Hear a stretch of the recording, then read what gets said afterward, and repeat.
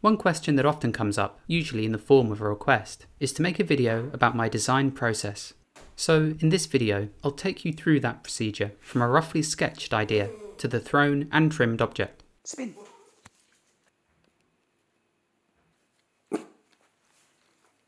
Often, over my lunchtimes, I'll sit and sketch with no clear idea in mind until I see a particular shape that grabs my attention, and in this case, it was the pouring bowls on this page, which I wanted to try and recreate. In no way is this a new idea, but it's a form I've never made before in my range of pots. So I wanted to make one that was a bit more angular in nature, to be more aesthetically in line with the rest of my work. I want their shapes to be wide and open, with a base that comes to a relatively narrow point. Somewhere, about halfway up, the shape will change, sloping either inward or outward. Then, the topmost section will have a pouring lip pulled in the rim, which I can already foresee being an issue, as a spout pulled on such a thin, wide form will definitely distort it. And this top wall of the pot needs to be thin, as I won't really be able to trim it due to the protruding spout. But I think this is the shape I like the most, and I'm sure I won't nail it the first time round, as it always takes a number of tries to get something right, and to troubleshoot any issues. I have stacks of drawings like this, some more carefully done than others, but they're a brilliant resource for inspiration if I'm having a day where I don't know particularly what to make. Whenever I post drawings like this, I generally receive a number of messages and emails asking if I make prints of these, and the good news is there will be some available soon, and I'll be making an announcement on my Instagram soon about when and where they'll be available. So let's begin. I often slam my bags of clay on the ground, flattening the bottom of the bag so they stand up nicely on the tabletop. The reason I didn't do it on the table is that to my right are a few boards of freshly trimmed pots, and slamming the table really hard will cause the pots to shake and move around, which can potentially mark the bottoms of the pots. I'll be throwing these bowls from roughly 1.5 pounds to 2 pounds, or about 380 grams to about 900 grams. Although this clay taken directly from the bag is more or less free of any air pockets, it's really worth amalgamating all the weighed out chunks that make up each lump. I'm not so much getting rid of the air as I am making sure that the texture throughout these is completely even. As I won't be trimming the upper sections of these pots very much, they need to be thrown very thinly, and that would make removing them from the wheel once thrown only using my hands quite difficult. So I'll be throwing them on these small MDF bats. This way, once they've been thrown, I can just lift away the platform they've been made on. I dampen the wood slightly, this way the clay really sticks to it. The first task, like it is with all pots thrown on the wheel, is to centre the lump of clay so that it's spinning perfectly in the middle of the wheel. If you try and throw a pot from a lump of clay that's wobbling and undulating as it spins, then you'll end up with an uneven pot, with the wall on one side being thicker or thinner than the other. The walls, being uneven, will make the entire process really difficult, as you're constantly having to readjust the pressure used with your hands as the pot is spinning around, rather than keeping them consistent. When I centre clay, I usually cone it up and down a number of times before pressing it into a shape like this. I watch my hands as they rest on the lump of clay, and when they're completely stationary with the clay spinning around quickly beneath them, then I know the lump is centred and I can move on to the next step which is creating an opening in this lump and forming the internal base of the pot, which I do by pushing the walls out with my fingertips. I don't want the base to be too thin, so I don't push down too much, as there's nothing worse than wiring the pot off the bat, only to realise that I didn't leave enough clay in the base and a hole is formed in the bottom. I can then begin lifting the walls of clay up, pinching in at the base and slowly moving my hands up. In this instance, I was using a wet sponge on the outside to do this, but more often than not, I normally use my knuckle to do more or less the same job, and you'll see that in some pulls coming up. The soaked sponge is useful as I can push it in very firmly at the base, and as I do, water comes out of it, keeping the clay really hydrated so nothing potentially sticks and then deforms, which can happen when you're using your knuckle very forcefully. Pulling up the walls like this can be a difficult process to describe, but essentially, on the inside, my fingers are pushing out just above the knuckle where the clay bulges out most, and my knuckle, on the outside, is actually lifting up that bump of clay. At this point, I want to begin angling the walls out, so I push out firmly from the inside, whilst my hand on the outside remains in place, bracing it and keeping it from being pushed out too abruptly. With these pulls, I'm really just shaping the pot, rather than trying to gain any height out of it and with this movement you can sort of see the shape I'm aiming for. The next step is to refine this form, which I do by pushing the clay out against a sharp metal edge, which straightens the walls and removes much of the slip covering them. When I do this, I'm really pushing the clay out against the metal rather than digging the metal tool into the clay, as doing so is an easy way to quickly destroy the pot, especially when doing so near the rim where there's very little clay, like the base of the pot, supporting the walls. To tidy up the inside of the pot, I remove much of the excess slip and water and roughly scrape clean the walls so the throwing rings aren't too prominent. Next, excess clay is scraped away from around the base and as I'm doing this I'm very careful to not allow too much clay to gather up on the tool as if it does that massive clay can push into the wall of the pot, deforming the lower section of the wall. I then create the spout, and I apologise for my elbow getting in the way here, but later in this video you'll see this same process from a number of much better angles. With the spout freshly pulled, I don't fuss around with it too much, as it's incredibly easy with the clay being so soft and so thin to simply deform it and ruin it. So, if I do need to make an adjustment, I'll wait until the clay firms up. That way I can touch it without having to worry about destroying the pot. You may have noticed that I didn't wire this pot off, and the reason I didn't do it at this stage is again simply to cause less disruption to the rim, as when you slide a wire underneath a pot, it often does cause the rim to move a tiny bit, so instead, I'll do it the following day when the pot is leather hard, thus negating any risk of distortion. With these next two bowls, I'll be showing you two different errors, both being very common when throwing on bats, and in both cases I'll show you what I do to fix them. When I begin centering I pinch right around the base of the lump of clay, pressing in my little finger to seal the lump of clay onto the MDF bat. The piece of clay is then forced up into a cone and then pushed back down again and I do this a number of times as it aligns the particles that make up the clay body, thus making it more even, more plastic and easier to throw with. The stoneware clay I'm using here is relatively firm, and in those cases, and with a shape I want to remain really stable throughout, I normally cone the clay up and down perhaps three or four times. And I can really feel the difference between the clay at this point compared to how it felt at the beginning when I first began to centre it. To open the lump of clay up, I plunge my finger and thumb into the very centre and then draw those digits back towards me, skimming them over the surface horizontally. If I feel like I've left too much depth in the base, I'll run my fingers from the middle to the outer edge a number of times whilst pushing down gently shifting the excess clay from the base into the lower section of the walls. This puts it in the correct position and means I'll be able to utilise and throw with it, rather than it being wasted in the base of the pot. I then collar the walls in and begin the pulling up process. And this is where the first fault happens.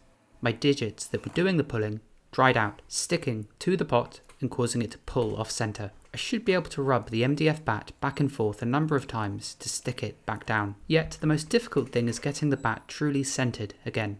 It doesn't need to be perfect, and as you can see here, it's not quite centered, but it's more or less good enough. I'll soak the walls and then clasp around them really firmly, forcing the clay back to being centered. In this case, that meant pushing the walls down slightly, but I'll easily be able to gain that height back. I steadily hold my hands and compress the walls, and once they feel like they're centered again, I can begin the pulling up process as per normal. This will be the pouring bowl I circled at the beginning, with a section of wall that slopes outward at the top. With the shape roughly there, I can begin refining the form. This consists of cleaning and straightening the walls, which I normally do from bottom to top.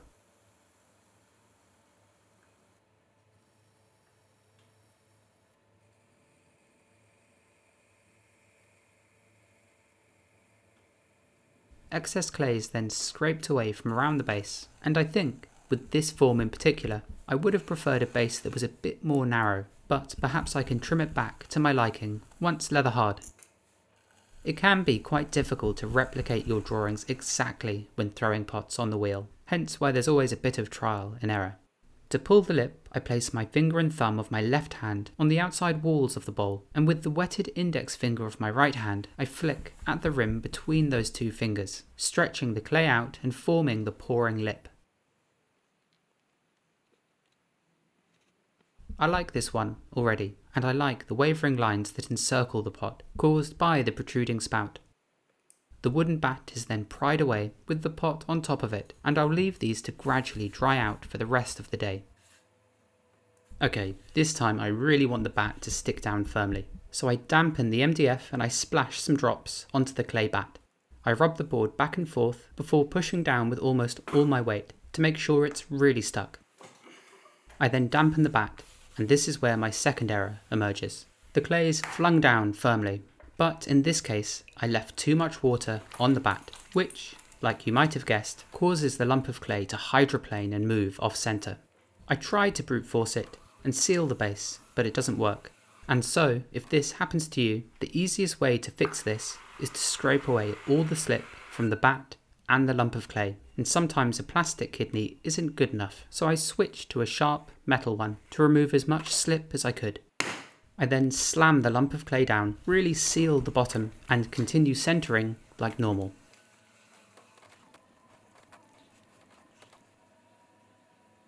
I push my finger and thumb down into the very centre, with my aim being to leave about 3 or 4 millimeters in the base. Although in hindsight, and the next time I make these, I'll throw all of them with about a centimetre in the base. This way I'll be able to trim a more elevated foot ring on all of them.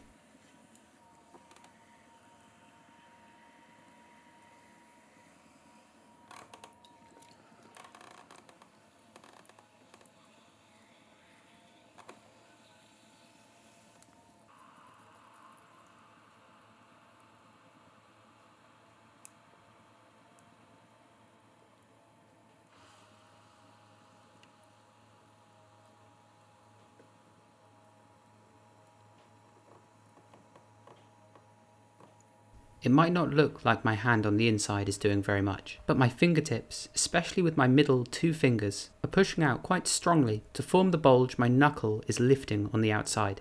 And with each consecutive pull the walls get thinner and taller, and with these bowls I'm trying to leave quite soft throwing rings, as if they are too apparent they can actually interrupt the flow of liquid when it comes to using these.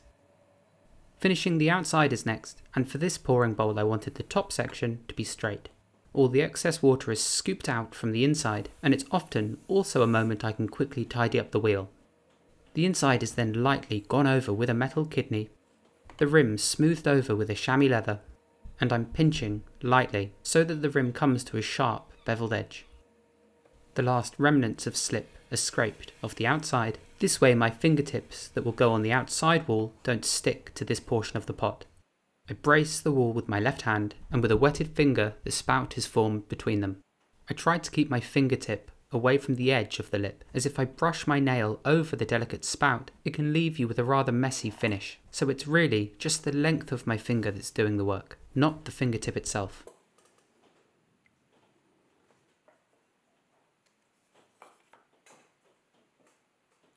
I think they work. I like their angular nature, but I won't have an idea of how it affects how well they pour until they've been fired. As if I filled these up with water now and tried to pour it out, the pots would simply collapse, as the clay would be really oversaturated.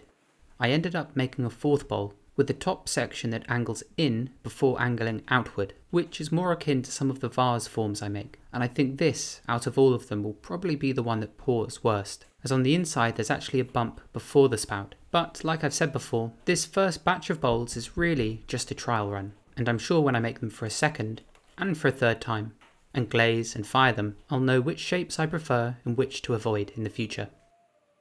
Before I go home for the evening, I'll very carefully just pinch either side of the spout so they keep a defined shape, as these pulled spouts will loosen as they dry. So before I go home, and probably the following morning, I'll check the spouts so they remain to my liking. As they are still quite soft, I can't just sling plastic over them, so instead I build a makeshift damp cupboard over them. I use kiln props, a large sheet of polystyrene, and five or six sheets of dry cleaners plastic. With these I build a tent around them, which will prevent airflow around the pots, which could potentially dry them out too much overnight. I was also firing my electric kiln, which fires automatically by itself overnight. This would have likely dried the pots out way too much, so at least by covering them, I'm still in control of the drying process, even if it did slow down their drying somewhat. The rims of each of these pourers is more or less leather hard now, so I'll pinch on either side of the spout to define its shape and brush away any burrs of clay that remain on the lip. In some cases I pressed on the outside of the bowl to push it back into a more circular shape. As for the very slight indentations you can see either side of the spout, I don't worry about those, as the glazes I'll ultimately be using will completely hide them.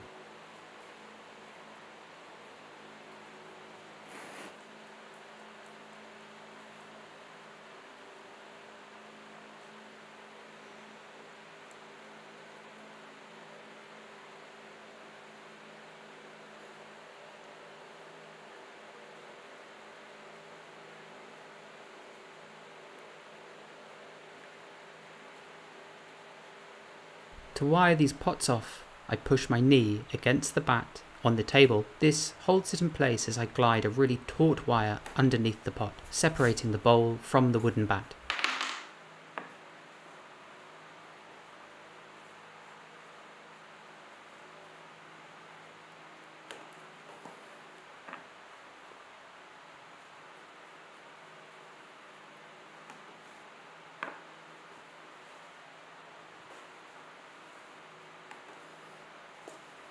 And lastly, all the clay left over on these bats is scraped away.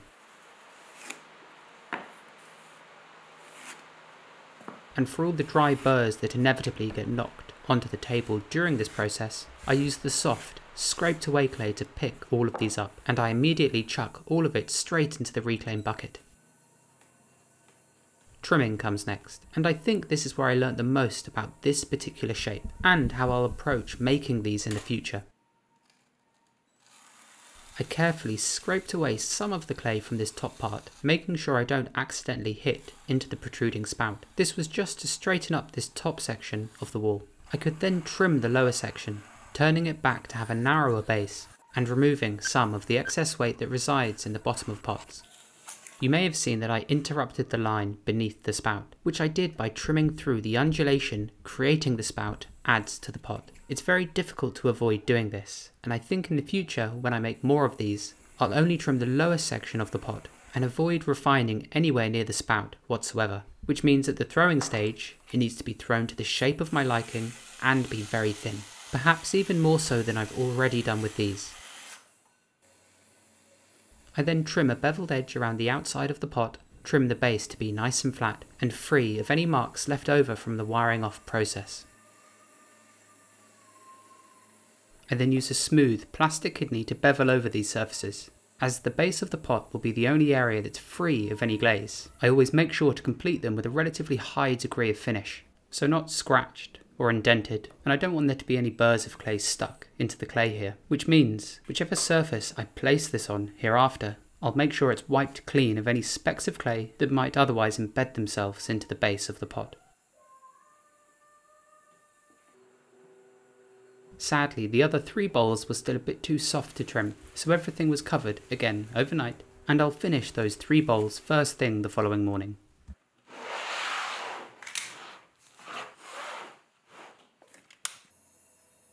With one of these bowls I felt the rim had distorted a bit too much to my liking, so I secured it to the wheel with some slip and then held a rubber kidney in place as I span it, forcing the still relatively soft clay back into a circular shape.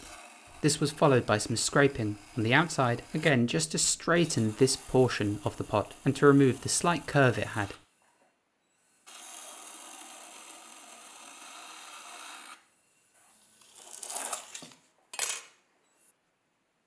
When turning their undersides, I secure the bowl in place with a few lumps of soft clay. When I press these down onto the wheel, I don't push them horizontally into the bowl, as doing so would distort the thin rim of the bowl. So instead, I push them down vertically, and I let the clay that pushes out naturally to either side be the clay that holds the bowl in place. And this typically prevents the rim from being distorted when it's being secured. This shape was utterly impossible to pick up. I could have squeezed lower down on the vessel, near the rim where the spout is, but the clay was quite soft, and I felt like doing that may cause the pot to distort, but I got away with it eventually.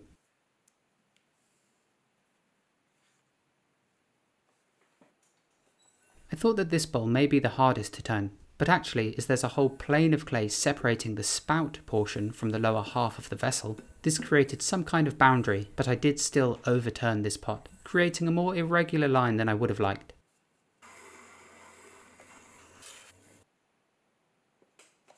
Once trimmed and once held in my hands, the pot still felt a bit bottom heavy, so I placed it back onto the wheel and trimmed away another layer of clay. As I already trimmed the base, the clay there was relatively thin, so I used a spinner on top to distribute the pressure I'm pushing down with to keep the pot pinned in place as it's turned. As if I used my fingertips that would be more focused on a particular point, I could very easily distort the bottom and cause it to bow inwards slightly, which I don't want. And lastly, the pouring bowl with the straight top, which once again I'm pinning in place with the spinner instead of sticking it down with slip. This isn't something I normally do, but actually it worked really well.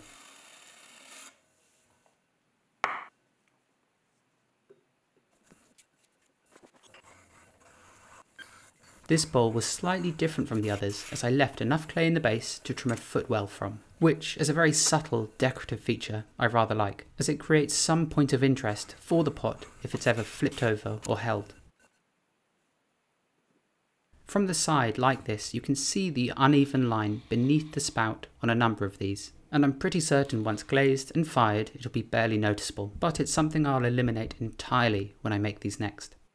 I'm happy with these regardless. There's something new, and a new shape is always exciting to make, especially as I'm trying to make it match the rest of the range of pots I already produce. So, if you have made it this far, please do let me know which shape you like most. And I hope you like this video despite it being slightly different from those I usually make. If, in the future, you would also like to see more of the design work that goes into my pots, then leave me a comment and let me know.